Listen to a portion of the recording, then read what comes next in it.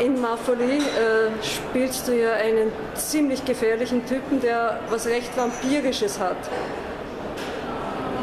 Ist das ein Charakterzug oder? Das ist kein Charakterzug, das äh, wird mir öfter nachgesagt und ich kann es dadurch erklären, dass ich tatsächlich aus Rumänien komme. Ähm, aber äh, ich äh, arbeite eher mit dem Innenleben meiner Figuren und nicht mit dem Äußeren. Deshalb äh, äh, freue ich mich natürlich, wenn das ausgelöst wird, diese Assoziation, aber da kann ich nichts.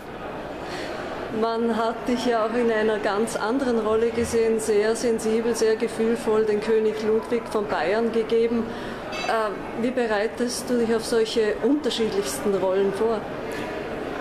Das ist äh, ganz unterschiedlich. Bei Ludwig musste ich sehr viel lesen. Äh, ich habe mir alle Filme angeschaut, die es über ihn gab. Ähm, also wirklich, das ist äh, jedes Mal eine ganz unterschiedliche Arbeit. Und hier konnte ich mich auf musste natürlich einen Untergrund bauen für die Figur, aber es war hauptsächlich die, die schauspielerische Zusammenarbeit, die Mafuli gebildet hat. Bei Ludwig war es wirklich sehr viel theoretische Arbeit, die ich da machen durfte. Ja, bei Mafuli hast du ja sehr viel Körpereinsatz. Wie war denn das?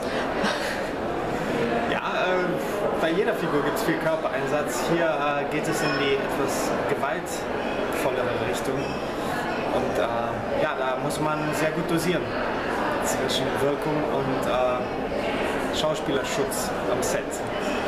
Und hat Hollywood schon angerufen? Noch nicht. Und vielleicht ist das auch gut so. Danke vielmals.